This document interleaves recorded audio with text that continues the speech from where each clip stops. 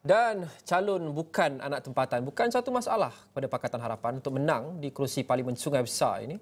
Calon PH Saipul Yazan Mak Yusof berkata walaupun orang luar, namun dengan pengalaman yang ada, beliau mampu memberi tawaran berbeza berbanding parti lain.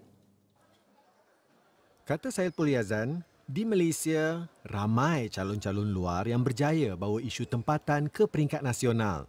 Calon daripada Barisan Nasional ada kelebihannya, tempatan, Cikgu Muslimin ada kelebihannya dan, dan saya boleh offer sesuatu yang lain kelebihan yang lain supaya memberi manfaat kepada Sungai Besar dan saya nampak peluang untuk kita menang uh, besar mengikut uh, sentimen yang yang berlaku dan juga momentum sokongan rakyat kepada kami dan undi 18 itu insya-Allah kita akan cuba untuk memanfaatkan untuk memberi sokongan kepada Pakatan Harapan.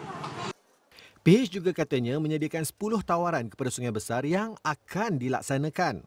Ia termasuk dalam aspek pendidikan iaitu cadangan memberikan kuota khas kepada anak-anak tempatan untuk mendapat tempat di Maktab Rendah Sains Mara MRSM di Sungai Besar.